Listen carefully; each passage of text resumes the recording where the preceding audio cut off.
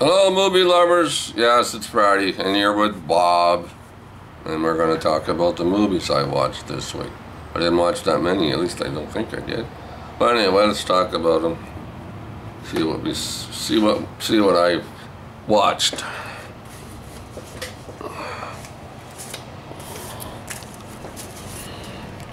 I watched Shutter. Shutter, the movie called Shutter, and it's from 2008. Stars Joshua Jackson and Rachael Taylor. Rachael Taylor's in uh, Jessica Jones as uh, the blonde girl. What's her name? Patty Walker? Yeah, she's in. She was so in 2008. She was in Shutter. This is a remake of the 2004 movie Shutter. I think it was called Shutter, but Japanese. Japanese. So this is a remake of the Japanese movie. Now this, two people just get married. He has a job over in Japan, so they go to Japan. He's a photographer. He takes pictures, right, of models and things like that. Anyway, they take some pictures with their camera, and every time they get their pictures back, there's this white line. There's this white stuff in their pictures. He takes pictures, and they're all ruined. And she has pictures. She takes them, and they're all got these white lines in it. It's really creepy movie. But I from what I've read and seen, the Japanese original movie is a lot scarier than this one. But uh, it's it's it's okay. It's a good movie to watch.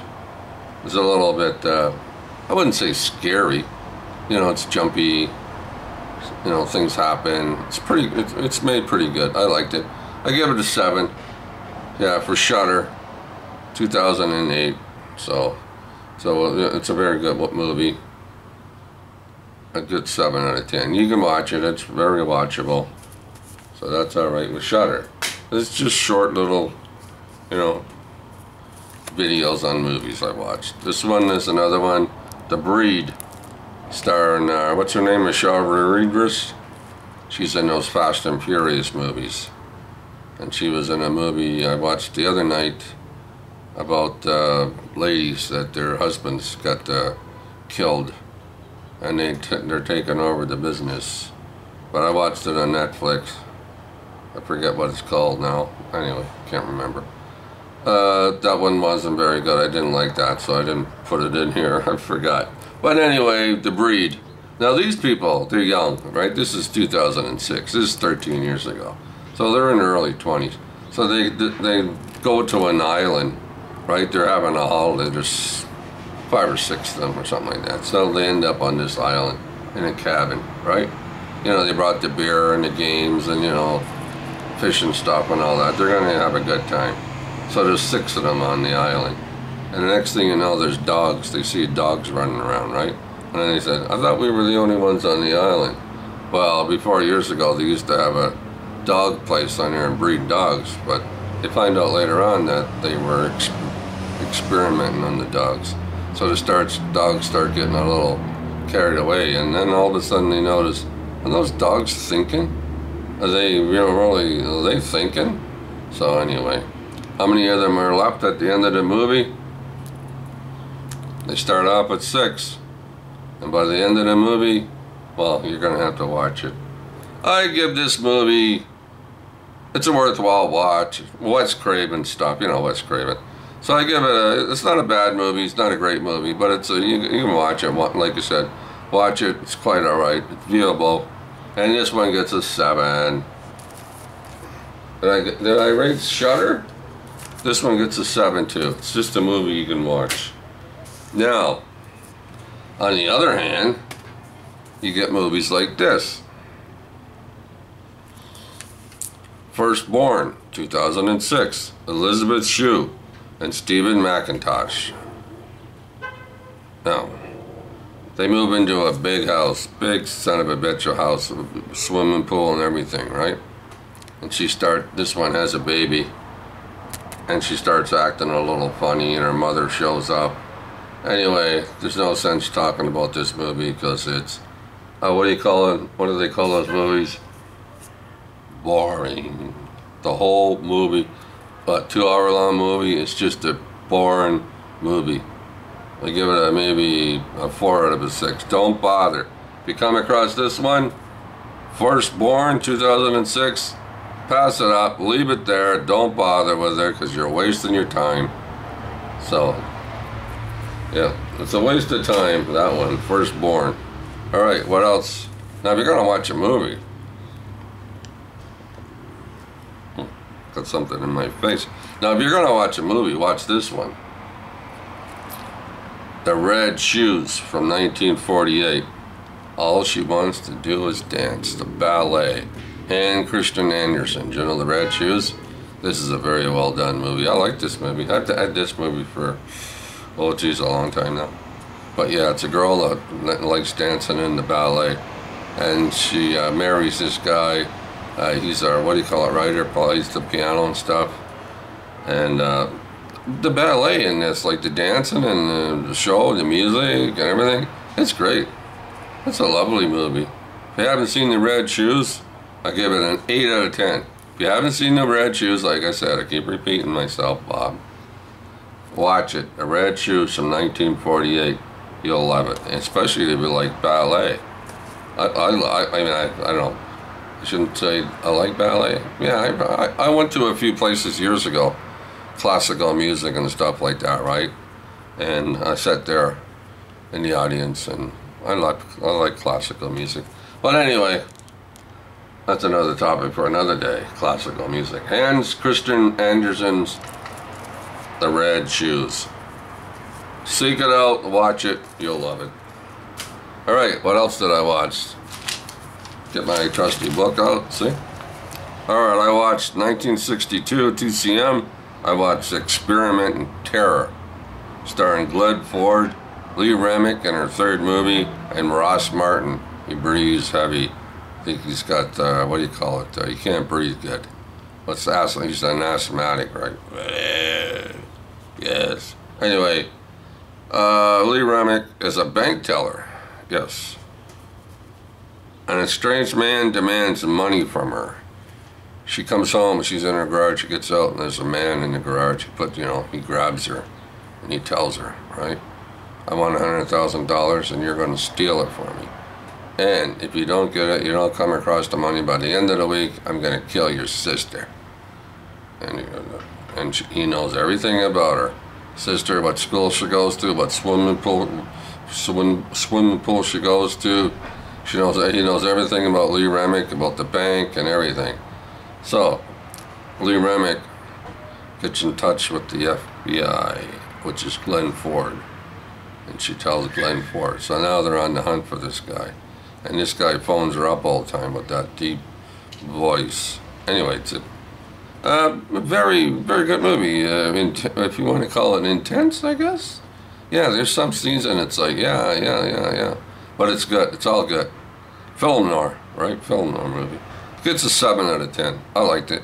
And if this was on again sometime next month, next year, I'd give it another watch. I mean, I don't own this. I've seen it on TCM, right? So I don't have, at least I don't think I have it in my possession. And the other movie, TCM, of course, 1949, Rocketeers.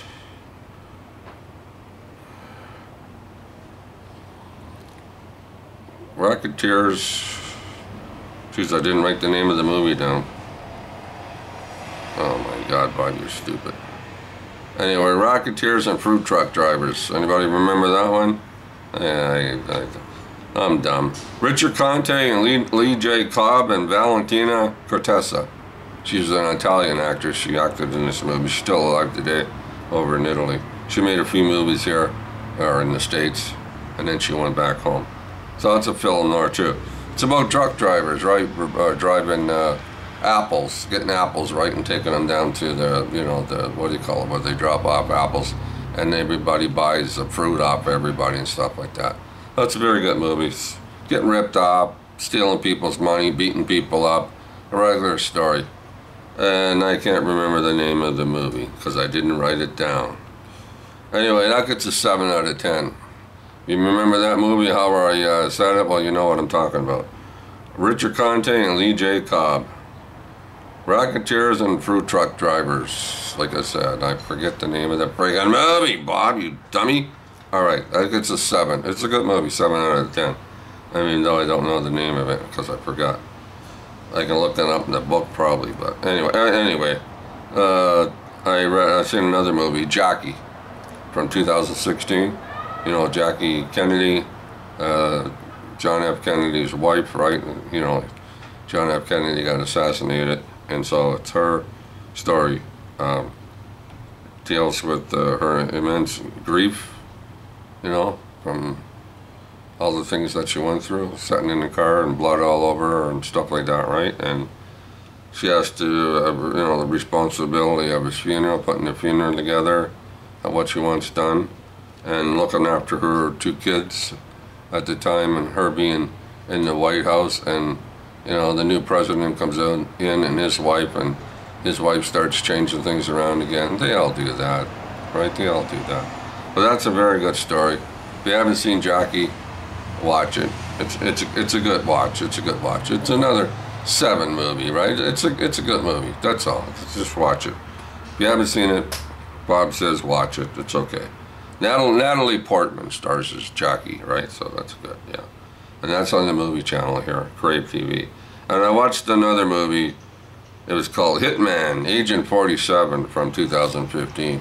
And I watched that movie for maybe half an hour, 40 minutes, and I went, uh, no. No, I shut it off, so I'm, I'm not even going to rate it because I never watched it. I didn't like it. I just, I don't know, it just didn't jive with me, man. You know what I'm saying? So I shut it off. Big man, I'd rather watch paint dry. Hitman, Agent 47. Now, if you want to have some fun in movies, I watch War Dogs based on a true story. Two down on their luck pals become arm dealers. They're in their early 20s, and they get a contract to sell to the American government arms. Only in America.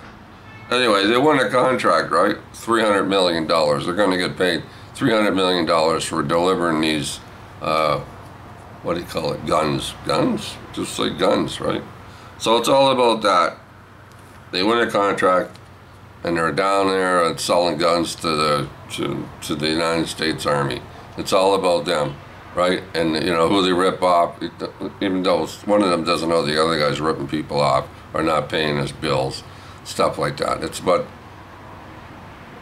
there's a few funny funny parts in it, right? You know, laugh, laugh, have a little laugh. But it's based on a true story. This really did happen. There was really a couple of young guys selling guns. They were only in their early 20s right? And one of them was a massage therapist. He'd visit people, right? Take his bat along, give people rubs, mostly men. yeah, you oil the men all down all over their backs and give them a little rub. You got $75 an hour for doing that.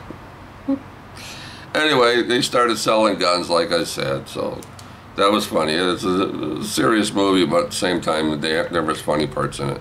So yeah, that was a fun watch, and that, that only gets a seven out of ten too. It's just a watch; you can watch it. But anyway, that's it for their movies as far as I, as far as I understand what I watched. So that's it. Oh yeah, and there's no Rick and Bob show tomorrow, or next Saturday for that matter, because tomorrow I'm heading off to Oshawa with my brothers, Donnie and Sammy. We're gonna have a barbecue, right? Play some darts. It's a long weekend here in Canada, so Monday's a day off. So Donnie will be here tomorrow morning and I'll be leaving here about 11 o'clock. So have a good weekend and all you people in Canada, have a good long weekend. All right? Talk to you next week. Yeah, next Friday. I should be around next Friday. Yeah, all right. So have a good week, people. Keep watching those movies.